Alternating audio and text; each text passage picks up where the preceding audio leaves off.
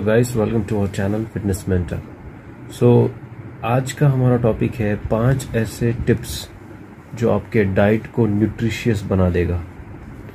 So follow us guys सबसे पहले आता है डाइट सो so, जो डाइट है उसमें क्या सही खाना है वही इम्पोर्टेंट है गाइस तो अभी मैं आपको बताऊँगा कि फाइव इंपॉर्टेंट वेज जो ऑटोमेटिकली आपका डाइट ठीक कर देगा।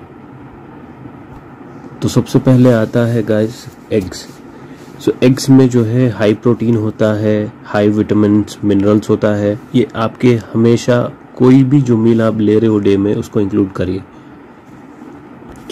दूसरे नंबर पे आता है फ्रूट्स तो तो, तो गाइस फ्रूट्स जो है इसमें नेचुरल शुगर होता है और very good amount of antioxidants होता है गाइस जो एंटीऑक्सीडेंट स्किन और हेयर के लिए भी बहुत अच्छा है.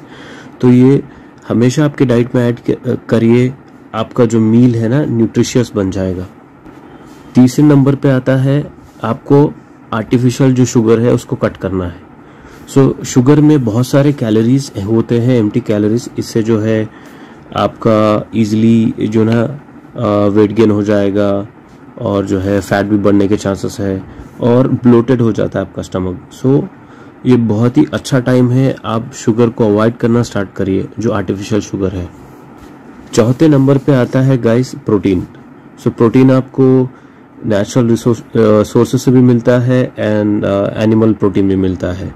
So guys right amount of protein आप हमेशा आपके मील में ऐड करिए और आपके मसल बिल्डिंग का और मसल का फ़ूड है ये एक्चुअली तो हमेशा आपके प्लेट में प्रोटीन होना ही चाहिए।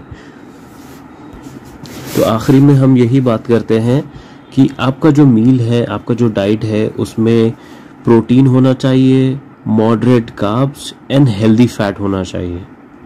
सो so, वही मिला के आपका जो डाइट प्लान है न्यूट्रिशियस बनाएगा और जो है परफेक्ट बनाएगा। सो गाइस डाइट बहुत इंपॉर्टेंट रोल प्ले करता है। आप जब भी वक्त मिल रहा है पढ़िए डाइट के बारे में और इम्प्रूव करिए।